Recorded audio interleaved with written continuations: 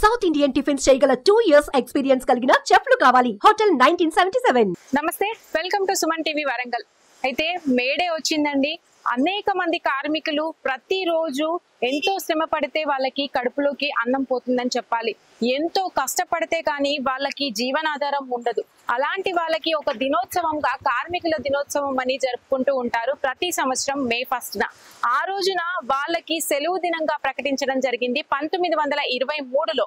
అయితే అప్పటి నుంచి కూడా ఎనిమిది గంటల పని దినాలు అనేవి మొదలవ్వడం జరిగింది.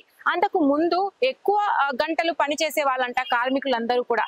అయితే ఆ రోజున వాళ్ళు డిక్లేర్ చేసుకున్నారు అసలు ఎనిమిది గంటలకు తప్ప మినహా ఎక్కువగా పని చేయకూడదు అని. అయితే కార్మికుల కార్మికుల ఐక్యతకు భావంగా ఈ రోజున కార్మికుల దినోత్సవం అనేది జరుపుకుంటూ ఉంటారు. అయితే ఈ రోజున ప్రతిరోజు పనిచేసే ఏవైతే ఎవరైతే కార్మికులు ఉంటారో వాళ్ళ జీవనాధారం ఎలా ఉంటుంది వాళ్ళ జీవన విధానం ఎలా ఉంటుంది అన్ని విషయాలు ఈ కార్మిక దినోత్సవ సందర్భంగా తెలుసుకునే ప్రయత్నం చేద్దాం. అయితే మనతో పాటు ఇప్పుడు అంబులెన్స్ డ్రైవర్ ఉన్నారు. వారిని అడిగి వారి ఉద్దేశం తెలుసుకుందాం. సార్ నమస్తే అండి. మీకు ముందుగా కార్మికుల దినోత్సవ శుభాకాంక్షలు. మీ పేరండి? నా పేరు ప్రభాకర్ రెడ్డి మేడం. ప్రభాకర్ గారు అసలు మీ జీవన విధానం ఎలా ఉంటుంది? మీరు ఎన్ని ఎన్ని గంటలు పనిచేస్తూ ఉంటారు రోజులో? నాది eleven to eight madam timing వచ్చేసి. ప్లస్ అది కాకుండా మళ్ళీ ఎక్స్ట్రా టైం కూడా మాకు ఏమన్నా కాల్స్ వచ్చినా కానీ బయట ఎవరు పేషెంట్ ఉన్నా ఎమర్జెన్సీ ఉన్నా కానీ వెళ్ళి తీసుకురావడం జరుగుతుంది. అది టైమింగ్ వచ్చేసి ఎయిట్ అవర్స్. ఎక్స్ట్రా డ్యూటీ కూడా కన్వీనియంట్గా చూసుకుంటాం పేషెంట్ ఓకే. హాస్పిటల్ ఏదైనా మొత్తం ఫ్రీ సర్వీస్ మేడం ఓకే. మీది అందరికన్నా విభిన్నమైన డ్యూటీ. అంటే ఒక గమ్యస్థానాన్ని చేర్చాలి వాళ్ళకి అది సమయానికి చేర్చాలి. లేదంటే వాళ్ళ జీవితం మొత్తం గందరగోళం అయ్యే పరిస్థితులు కూడా ఉంటాయి ఒక్కొక్కసారి. అలాంటిది మీరు చాలా అది కేర్ తీసుకోవాల్సి వస్తుంది టైం గురించి. ఎలా అనిపిస్తుంది మీకు డ్యూటీలో ఉండడం? సర్వీస్లో మాకు చేయడంలో హ్యాపీగా ఉంటుంది. అవునా? అంటే ఒక పేషెంట్ సేఫ్ చేయడం. ఉమ్, ఉమ్. మాకు చాలా హ్యాపీగా ఉంటుంది. చాలా గొప్పనైన డ్యూటీ అని చెప్పాలి నిజంగా చెప్పాలంటే.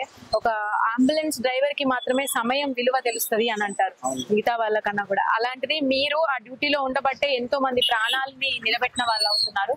అయితే ఈ కార్మిక దినోత్సవ సందర్భంగా మీకు కూడా అంటే కార్మిక దినోత్సవ శుభాకాంక్షలు తెలపాలి. కొంచెమైనా మీ గురించి తెలుసుకోవాలని ఇక్కడ దాకా వచ్చాము. థ్యాంక్ యూ సో మచ్ అండి. థ్యాంక్ యూ మనతో పాటు ఇక్కడ కొంతమంది కార్మికులు ఉన్నారు. వాళ్ళని తెలుసుకుందాం నమస్తే అమ్మా. కార్మికుల దినోత్సవ శుభాకాంక్షలు మీకు కూడా. శుభాకాంక్షలు. చెప్పమ్మా ఎన్ని గంటలు మీరు ఇట్లాంటి పనులు? పొద్దున తొమ్మిది గంటలకు వస్తాం సాయంత్రం ఐదు గంటలకు పోతాం. మనిషికి ఆరు వందలు కూలి ఇస్తారు. ఎండాకాలం ఇబ్బంది అనిపించట్లేదు ఈ ఎండాకాలం అంటే మరి కడుపు తిప్పలు ఏం చేద్దాం మరి? కడుపు తిప్పలకు చేసుకుంటూ ఉంటాం. ఐదు గంటలకు పోతాం తొమ్మిది గంటలకు వస్తాం ఐదు గంటలకు పోతాం. మీతో పాటు ఆ, అంటే అన్నం తెచ్చుకుంటాం. ఐదు గంటలకు లేస్తాం అన్నం వండుకుంటాం వస్తాం.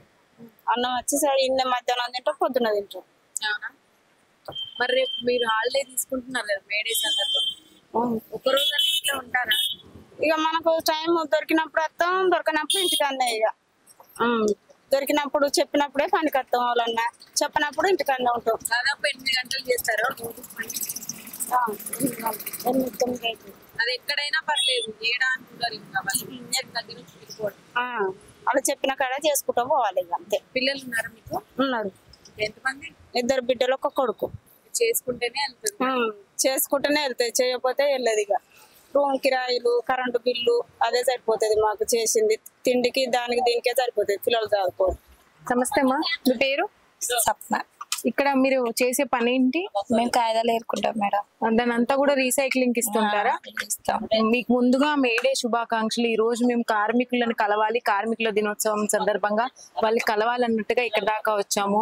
చెప్పండి మీకు ఎలా ఉంటుంది ఇలా ఇలా చేయడం? బాగానే ఇబ్బంది. కిరాయికి ఉంటాం మేము. కరెంట్ బిల్లు కట్టాలి. ఇల్లు కిరాయి కట్టాలి. మా అంటే మూడు వందలు వస్తాయి అందులో. మా పిల్లలకి ఇబ్బంది మాకు ఇబ్బంది అంటే మొత్తం సిటీ అంతా తిరిగి? సిటీ అంతా తిరిగి తెచ్చుకొని ఏరుకొని ఇక్కడ అమ్ముకొని పోతాం. బాగా మాకు ఇబ్బంది అవుతుంది ఏ పనికి పోయినా ఇబ్బందే మాకు.